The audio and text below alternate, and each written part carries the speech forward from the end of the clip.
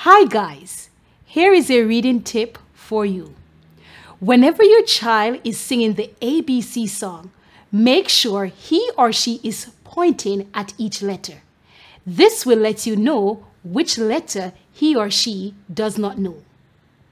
A, B, C, D, E, F, G, H, I, J, K, L, M, N, O, P, Q, R, S, T, U, V, W, X, Y, and Z.